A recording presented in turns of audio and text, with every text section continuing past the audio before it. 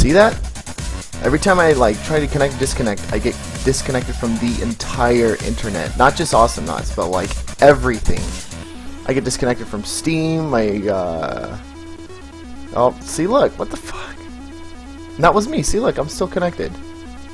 Dude, this whole update, it's been like that. So that's why I haven't been streaming for the past few days, and that's why I'm not going to stream today. Stupid.